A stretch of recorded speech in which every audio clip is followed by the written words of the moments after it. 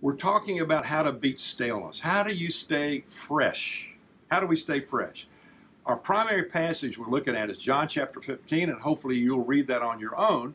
And we just got into the introduction of it last week, but we left last time on red glasses by asking this question Are you, am I, are we connected to Jesus Christ, the true vine?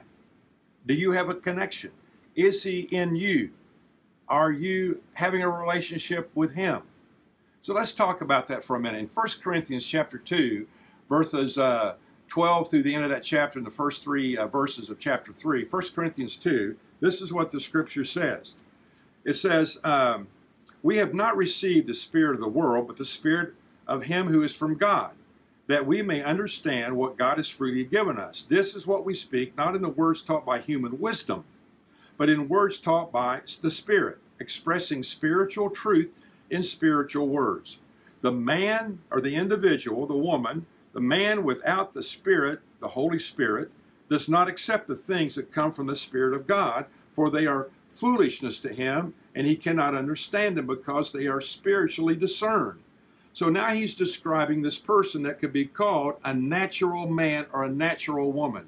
They're not connected to Christ. Christ does not live in them. So therefore, when they read this Bible or go to church or hear things about the Lord, it doesn't compute. It sounds a lot like a bunch of gibberish to them.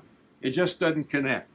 Then he goes on and says in verse 15, the spiritual man, that means a person that has Christ in his life or her life, the spiritual person makes judgments about all things, but he himself is not subject to any man's judgment. And it says we have the mind of Christ. And so now this is the spiritual person, the spiritual man or woman. This is the person at some point in their life, they have asked Christ to come into their lives. They are connected to Him. The very God of the universe lives in their lives. But then he goes on to name another person.